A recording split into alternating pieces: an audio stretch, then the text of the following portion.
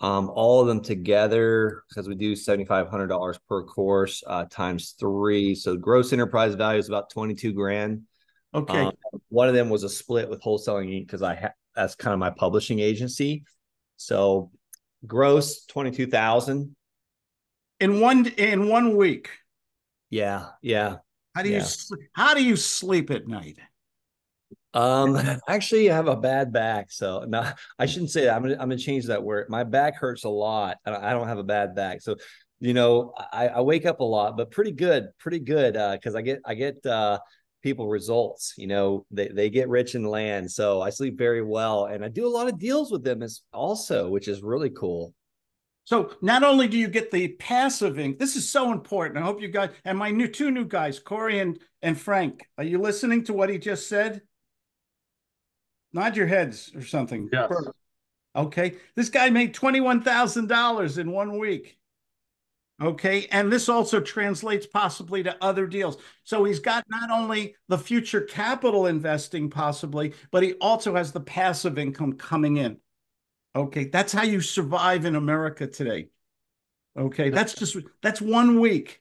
I have had six figure weeks okay in in this business. It's it's a question of using the rule of five. And if you have my marketing package or you're getting it this week you'll you'll you'll know more about the rule of five if you don't know it yet. Uh, Cor- uh brent mentioned it. Brent uh, uh anyone else have a success story? And then i'll come back to brent. Who has a success story? Michael pinter you must have a success story